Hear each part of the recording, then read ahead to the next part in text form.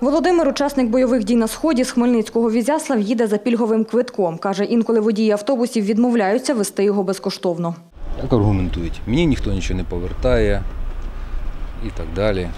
А я на ваші пільги не заправлюсь і так, ну, в такому плані. За словами водія автобуса Василя Мазура, щодня він перевозить до 15 пільговиків. Якщо беруть білети в касі, то беремо. А якщо без квитка прийде з посвідченням чи з Ну просимо, щоб брали білети. Бо, бо так нам нічого тоді не компенсують зовсім. У каси Хмельницької автостанції номер 1 щодня звертаються 200 пільговиків, здебільшого це учасники бойових дій. Станційний збір для бойових дій. Це входить 10% від вартості квитка. Е, Війни там ми нічого не беремо з них, бо багатодітні ті- ну, теж 10% тільки беремо. Хмельницький перевізник Валерій Марчук, який обслуговує три міжміські напрямки, звернувся до керівників автостанцій області, аби ті не видавали пільгового квитка на його рейси. Скажіть, на якій основі я маю його вести? Да, в законі прописано, що вона має право їхати. Ну, в законі прописано, що перевізник має право, чи то юридична, чи фізична особа, має право на відшкодування. Багатодітних не беру, кажу зразу.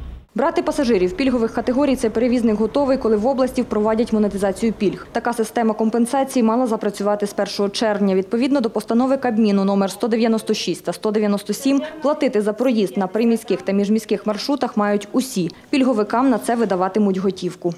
Відповідно до постанови 197 пільговик має право на соціальний мінімум. Це 30 поїздок в місяць, які йому оплатить місцевий бюджет.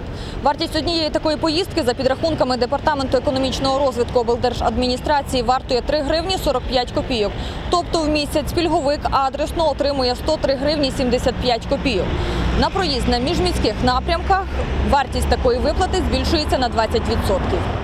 А вартість поїздки розрахов- розраховується в- залежності від вартості е, ціни в комунальних підприємствах, які е, перевозили станом на 1 січня 2018 року. Наразі в області є понад 400 тисяч осіб пільгових категорій. 157 тисяч, відповідно до постанови номер 197, мають право на грошову компенсацію проїзду. У порядку, затвердженому 197 постановою, 10 пільгових категорій громадян. Це законами, це закон про статус ветеранів війни, гарантії соціального захисту, ще Чорнобильський закон, закон про соціальний захист багатодітних сімей. Е, Ну, крім пенсіонерів за віком. Хоча е, їм пільги надаються відповідно до постанови Кабінету міністрів України. Е, Така є постанова 354. Змінити кількість пільгових поїздок та збільшити перелік категорій, яким компенсуватимуть користування транспортом, можуть місцеві громади, якщо у їхніх бюджетах будуть на це гроші. Наразі жоден район чи тергромада Хмельниччини не прийняли рішення про монетизацію. По 197 постанові, там, де вказано обов'язковість, ми прорахували категорії. Е, На це потрібно 240 мільйонів. Якщо ми говорили, що там немає такої категорії населення, як пенсіонери, якщо додати пенсіонери, то це буде більше 600 мільйонів.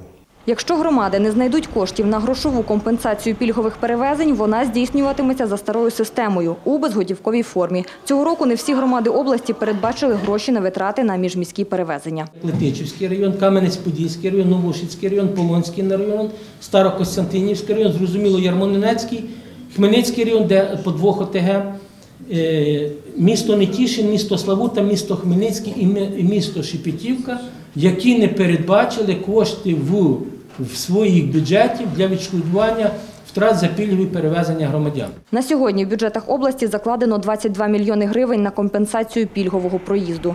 Надія Драганчук, Дем'ян Цегольник. Новини Поділля Центр.